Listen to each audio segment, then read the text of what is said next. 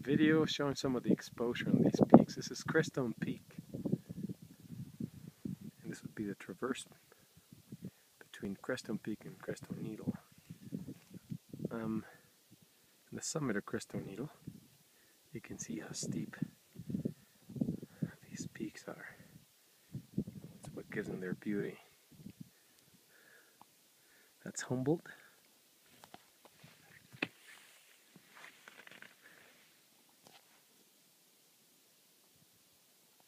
You can see the steepness. And there's Brian on top.